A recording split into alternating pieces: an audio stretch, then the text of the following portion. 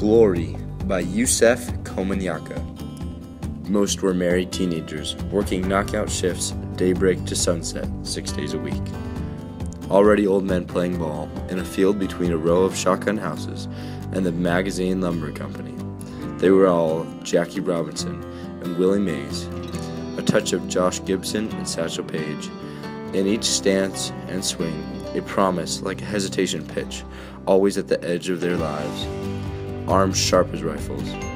The Sunday afternoon heat flared like thin flower skirts as children and wives cheered. The men were like cats, running backwards to snag pop ups, high flies off the fences, stealing each other's glory. The old deacons and ran counters who umped made out made a out or safe into a song and dance routine. Runners hit the dirt and slid into home plate, cleats catching light as they conjured escapes, outfoxing double plays.